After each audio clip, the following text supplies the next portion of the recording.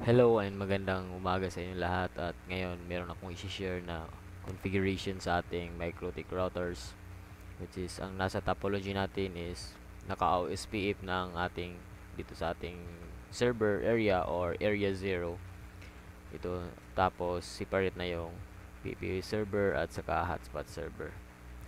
So version ROS 7 na ito ating i-configure So, dito, ito si core, ito yung magbibigay ng internet kay hotspot at pati kay PPOE server. At itong hotspot at PPOE ay wala ng NAT or masquerade. Andito lang sa core.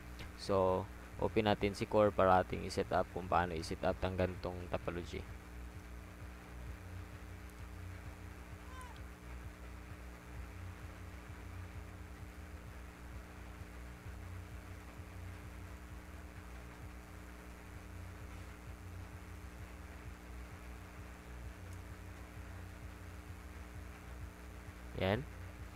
So, rename lang natin siya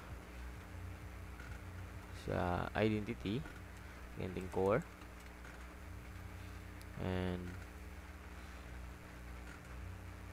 yan. Dito sa ating core router is set up muna natin yung ating internet. Lalagyan muna tayo ng DNAs.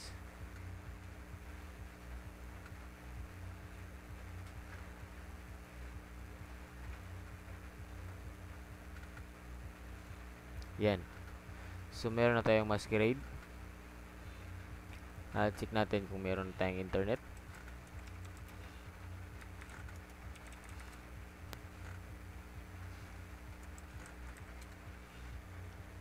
Yes, meron tayong reply. So, ngayon na uh, configure natin si OSPF which is OSPF ang ating gagamitin na routing. So, punta lang tayong bridge. Gawin muna tayo ng loopback. Yan. Tapos dito punta natin IP addresses. Which is ang loopback IP natin is 172.10.10.1 so interface is dito. So next is punta tayong routing. Tapos router ID add lang tayo nito ng click plus. Tapos router ID 172.10.10.1 is check natin yung only loopback apply. So next is punta tayong routing again. Tapos OSPF so dito sa OSPF is set up natin si punta tayong instance. And dito sa instance is yung version is version 2 at version 3 kaibahan nito is IP version 4 at IP version 6 So, version 2 mo lang tayo. Tapos, yung router ID natin is main. Gawin natin ID slash 1. So, sa sa org originate default is ating piliin is if installed or always. So, in my case, uh, if installed. So, okay. So, dito naman tayo sa interface uh, areas. So, click natin plus. Tapos, apply lang natin. Yan. Tapos, susunod is, punta ng interface. And click tayo ng plus. So, interface, unahin natin set spot setup. So, dito, Ether 2. And HPF networks. So, mag ng network sa ating loopback. Yan. At IP ng ating papapuntang hotspot 172.10.200.0 slash 30 so dito sa network type type natin uh, pili natin yung PTP P2P PTP and instance ID at saka uh, at authentication. So hindi mo na natin gawin kasi basic o SPF lang ating gagawin. So punta muna tayong IP and addresses So, lagyan natin ang ad address. 1, 2, 10.100.1 30. So, saan nakakonect si hotspot? Ether 2. So, Ether 2. Ayan. So, apply. So, okay na yan. Okay na. So, open natin si hotspot. At i-on lang natin yung Roam on dito. Yan. So, sa neighbor, hindi pa siya lumabas. So, check natin.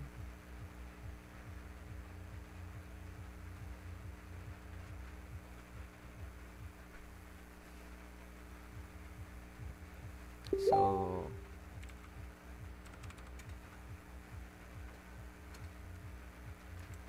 gawa muna tayo ng Roman tool. Roman. Set. Enable. Yes. Okay. Ayan. So, dito sa hotspot server, uh, rename muna natin siya.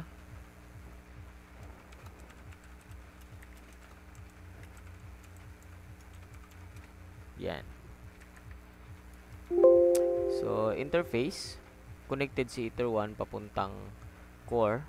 So, first, configure muna natin yung SPF para meron tayong internet. So, check natin.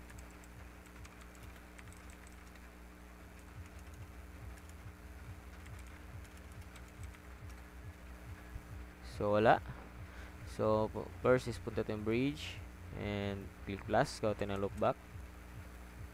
And dito sa IP is loopback IP natin is 172.10.10.2 So, ether 1 Pagkata natin ang loopback So, sa ether 1 magkakaroon tayo ng IP It's 172.10.100.2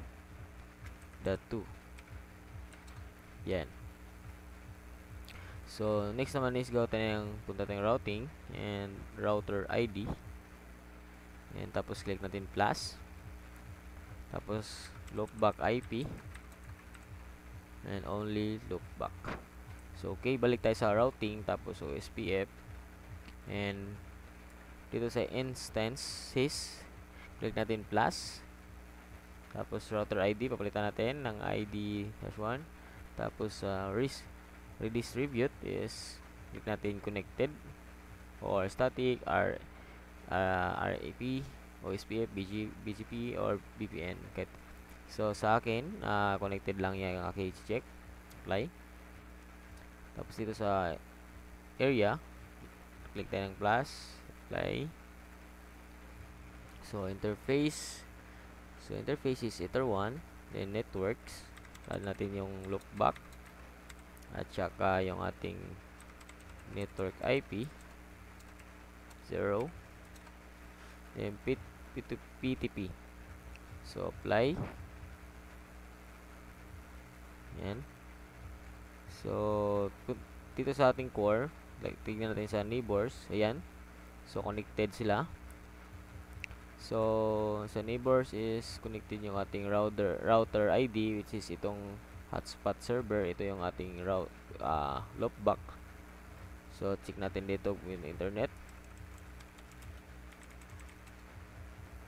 Ayan, so meron na tayong internet without masquerading. Yan. So, okay. So, config natin yung hotspot. So, hotspot. Ito yung IP address. Click natin plus. And 100 slash 19. So, ether 2. Yan, Ether 2 connected sa ating hub or switch. Supply. So, IP, then hotspot. So, configure lang natin yung hotspot. Next lang natin. Ayan. So, tapos, next is um, next naman is configure na natin yung PPU server. So, start lang natin.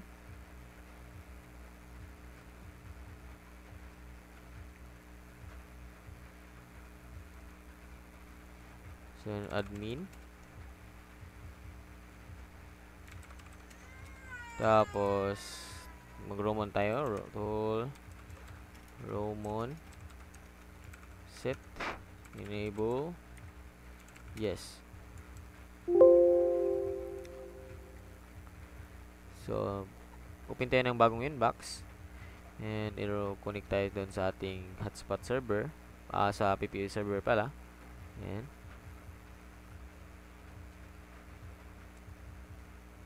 So, rinin muna natin.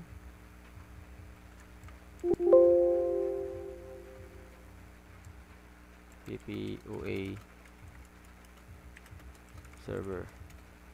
So, dito sa ating core is hindi pa natin na-configure yung ating link ng uh, core papuntang PPUA. Eh, so, config muna natin. Punta tayong IP. Tapos, add tayo ng IP address which is 111 100.1 slash 30. So, ether 3. So, apply. So, dito sa OSPF, punta tayong interface templates. And click natin plus. So, net interface is ether 3. And networks is 172.10.10.1 and 172.11.100.1.30 then P2 PTP din okay. So neighbors isa lang yung lumabas. So balik tayo sa PPA server. And versus punta natin ng bridge. Look back. Tapos dito sa ating IP addresses add natin yung ating loopback ID ID 3 yan. Tapos click po tayo ng plus then 172.11.102 slash 30 so ether 1 so okay. So punta tayong routing. Tapos router ID click natin plus. Tapos yung loopback na IP So, balik tayong routing. And punta tayong SPF. So, dito sa ins instances, uh, click natin plus, same kanina. Router ID. Tapos, uh, redistribute is connected lang. Okay. So, areas, click plus, apply. So, dito sa interface, uh, ether 1, network, add natin yung 10.3 10.11.100 slash 30 so P2P PTP so apply so dito sa core dapat labas yes. Ayan. So addresses. To so full stateful so meaning meron na tayong internet dito sa ating PPU server. Yan so may reply. Yan. So, config natin si PPU, uh, si PPP which is gawa na tayo ng PPU server. So, kunta tayong IP, pool.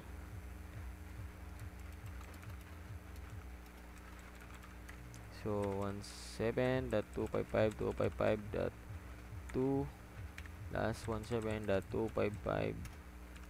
17.255.255.245. So, balik tayong PPP. So, click natin um, PPE server, click plus. So, easy routers. So, interface is ether 2. And apply. Then, punta tayong profile. Gawin tayo ng profile. Okay. Gawin tayo ng 1 Mbps. So, 172.255.255.251 dito sa remote address is ating pool so okay apply natin. So para matest natin kung uh, working yung ating setup so buksan natin yung ating client try natin i-connect sa hotspot at sa PPOA so open lang natin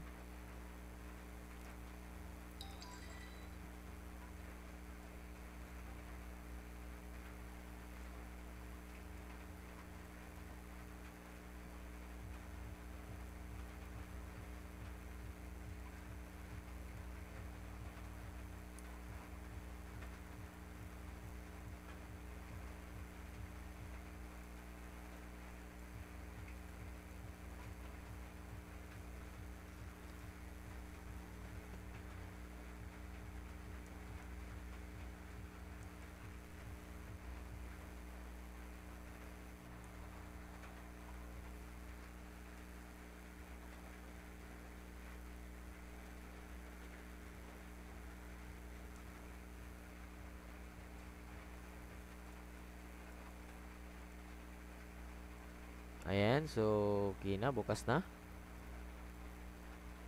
So dito sa ating hotspot is tignan natin sa hotspot then sa host. So hindi siya lumabas. And try natin dito mag-ping if may internet. So wala. Yan, lumabas. So, pinta ng Chrome.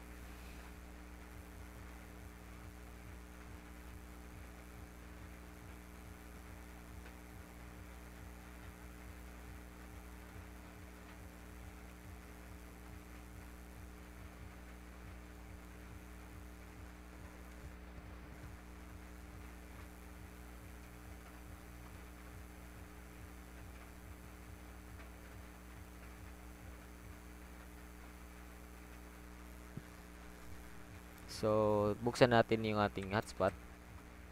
Eh, gumagana ba?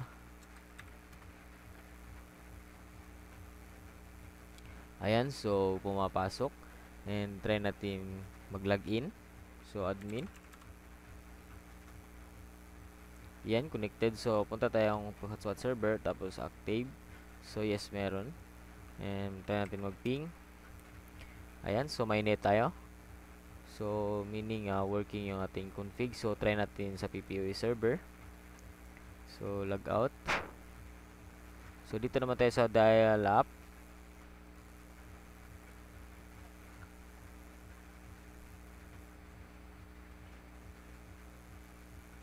Yan. Sit up.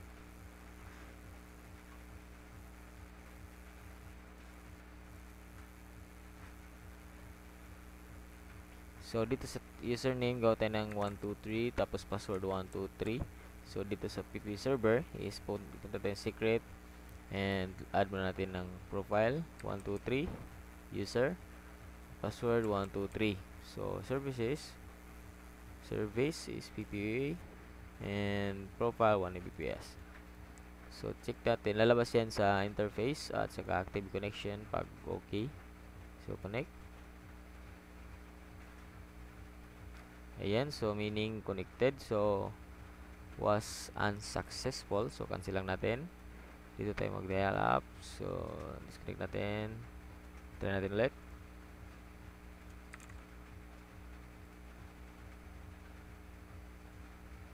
Ayan, so connected.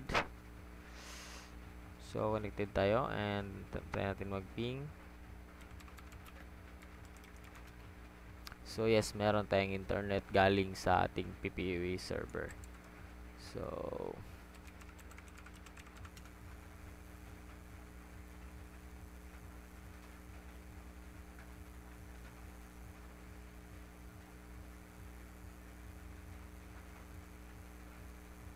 um, walang net wait lang.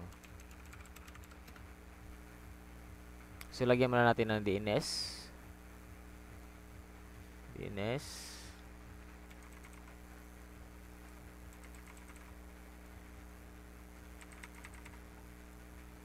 so reload natin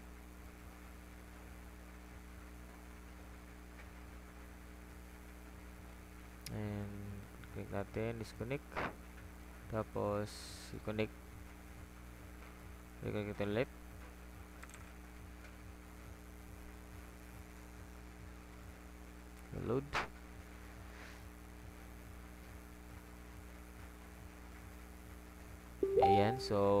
working yung ating setup so naglo-load